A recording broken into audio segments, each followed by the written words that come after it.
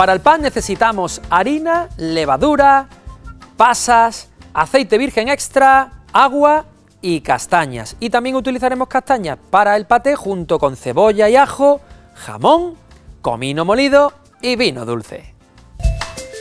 Hacer unos pequeños cortes a las castañas y disponerlas en una sartén con un buen pellizco de sal.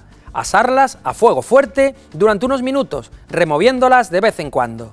Para el pan, disponer en un cuenco 175 gramos de agua tibia, 20 gramos de aceite de oliva virgen extra y 15 gramos de levadura. Disolver bien y añadir 310 gramos de harina de fuerza y un pellizco de sal. Mezclar hasta que la masa sea homogénea y agregar las pasas y algunas castañas peladas y troceadas. Engrasar con aceite la base y la tapadera de una fuente de horno. Espolvorear con harina y disponer encima nuestra masa de pan. Introducir en el horno, encenderlo a 200 grados y cocinar durante 35 o 40 minutos.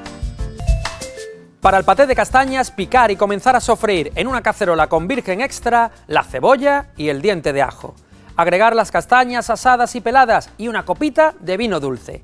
Cubrir con agua y agregar un pellizco de comino molido y dejamos cocer hasta que se ablanden las castañas.